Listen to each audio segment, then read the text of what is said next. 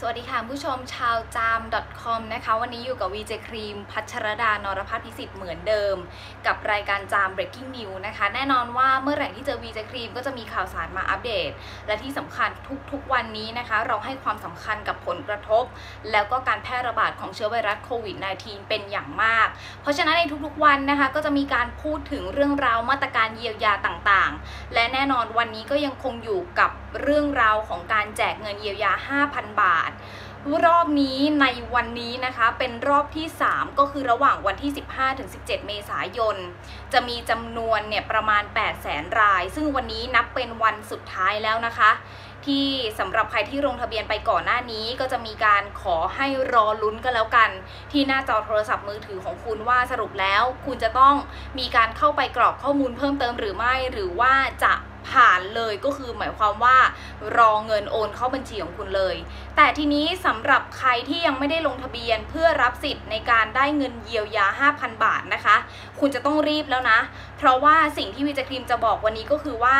กระทรวงการคลังเนี่ยได้กำหนดวันปิดรับลงทะเบียนก็คือในวันที่ 22 เมษายนเวลา 24 นาฬิกาหรือว่าเที่ยงคืน ตามที่เคยประกาศเอาไว้ แล้วก็แจ้งเอาไว้ว่าจะมีการแจ้งล่วงหน้าให้ประชาชนได้ทราบก่อนวันที่จะปิดการลงทะเบียน ทีนี้สำหรับผู้ที่ลงทะเบียนเนี่ย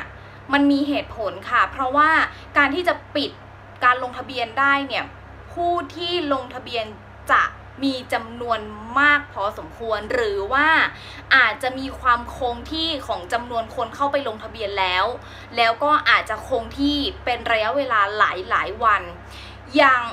การลงทะเบียนล่าสุดอัปเดตเนี่ยนะคะ เป็นข้อมูลวันที่ 16 เมษายนมีผู้ที่ลงทะเบียน ทะลุไปจนถึง 27.7 ล้านราย นะคะ และที่สำคัญทางกระทรวงการคลังบอกว่า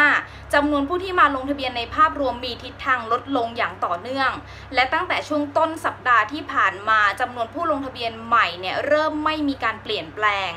สะท้อนให้เห็นว่าผู้ที่ได้รับผลกระทบจากสถานการณ์ไวรัสโควิด -19 โดยส่วนใหญ่ได้มาลงทะเบียน เพื่อรับความช่วยเหลือเยียวยาจากรัฐบาลในมาตรการนี้แล้ว อีกทั้งยังเป็นไปตามวัตถุประสงค์ของมาตรการเยียวยา 5,000 บาทที่ต้องการให้การเยียวยาผู้ที่ได้รับผลกระทบอย่างครอบคลุมและทั่วถึงแล้วด้วย คืออย่างแรกที่พี่เจครีมถาม อยากจะถามมากๆ คือรัฐบาลเอาอะไรมาวัดว่าตอนนี้มันครอบคลุมแล้ว มันไปทั่วถึงแล้ว เพราะว่ามันอย่างที่พี่เจครีมบอกไปก่อนหน้านี้ว่ามันยังมีบางกลุ่มมีบางคน ที่เขาไม่สามารถเข้าถึงระบบอินเทอร์เน็ตเหล่านี้ได้ หรือว่าการลงทะเบียนออนไลน์ได้ เพราะฉะนั้นตรงนั้นไปมองหรือยังก่อนที่จะมาพูดว่ามันครอบคลุมแล้วนะคะ อันนี้เป็นสิ่งที่ ต้องมองมากๆสำหรับมาตรการนี้นะคะสำหรับการกำหนดวันปิดรับลงทะเบียนอย่างที่บอกไปเมื่อช่วงต้นว่า 22 เมษายนเวลาเที่ยงคืนนั้น จะไม่มีความเกี่ยวข้องใด ๆ กับกลุ่มคนที่ต้องการยื่นทบทวนสิทธิ์สำหรับประชาชนที่ไม่ผ่านเกณฑ์ และไม่เห็นด้วยกับผลการคัดกรองนะคะ อย่างแน่นอนไม่เกี่ยวข้องแน่นอนนะคะ โดยกระทรวงการคลังยืนยันอีกครั้ง และก็ย้ำอีกครั้งว่าประชาชนจะสามารถเริ่มยื่นทบท วนสิทธิ์สำหรับกลุ่มที่บอกไปว่าเป็นประชาชนที่ไม่ผ่านเกณฑ์ หรือว่ารู้สึกว่าฉันไม่ได้รับความยุติธรรมทำไมฉันเป็นอีกอาชีพหนึ่งฉันมีอาชีพเป็นวินมอเตอร์ไซค์แต่ว่าระบบไประบุว่าฉันเป็นเกษตรกร อันนั้นมันไม่ยุติธรรมสำหรับฉันก็ไปกด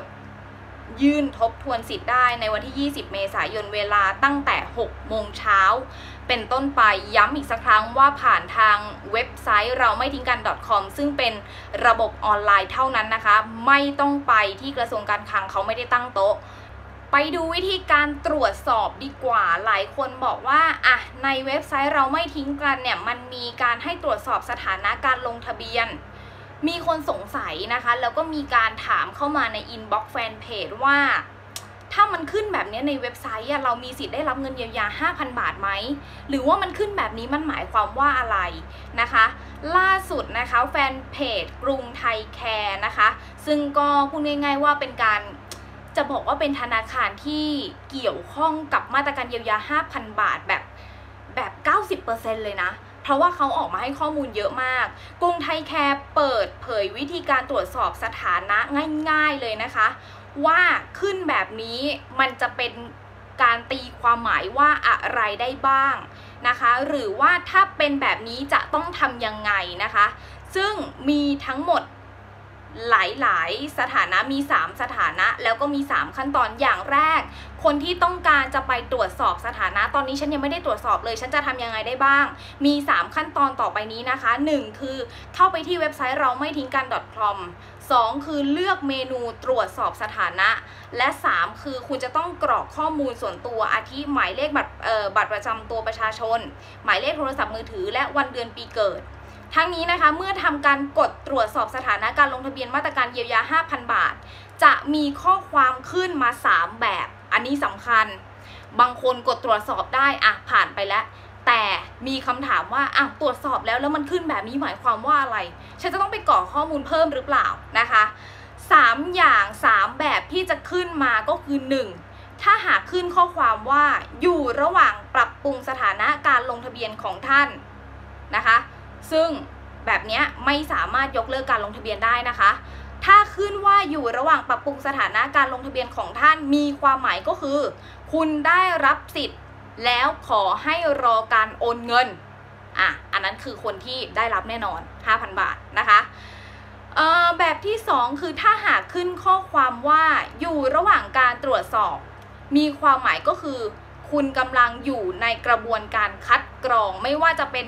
ตรวจสอบข้อมูลอะไรต่างๆ อาชงอาชีพ มันตรงไหมอะไรต่างๆ มันถูกต้องหรือเปล่า อันนั้นเป็นแบบนั้นนะคะ ส่วนอีกแบบหนึ่งแบบสุดท้ายคือแบบที่ 3 หากขึ้นข้อความว่า ไม่สามารถทำรายการต่อได้ คือ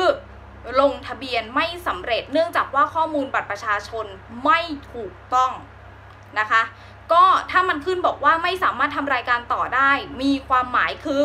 ข้อมูลบัตรประชาชนไม่ถูกต้อง แล้วก็สามารถลงทะเบียนใหม่ได้นะคะ ลงทะเบียนใหม่ได้นะคะ เพราะฉะนั้น ทุกสิ่ง everything เดี๋ยวจะให้ทีมงานขึ้นรูปภาพให้ด้วย จะได้เข้าใจกันง่าย ๆนะคะ และที่สำคัญอย่าลืมใครที่ดูคลิปนี้ แล้วยังไม่ได้ลงทะเบียนรับเงิน 5,000 บาท แล้วคุณอยู่ใน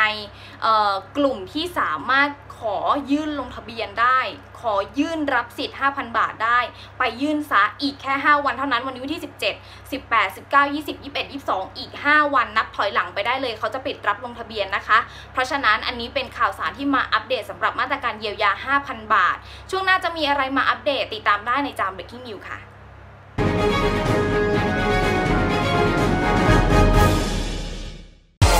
ติดต่อลงโฆษณาได้ที่ 0880 900 800 เพื่อติดตามข่าวสารที่นี่ก่อนใคร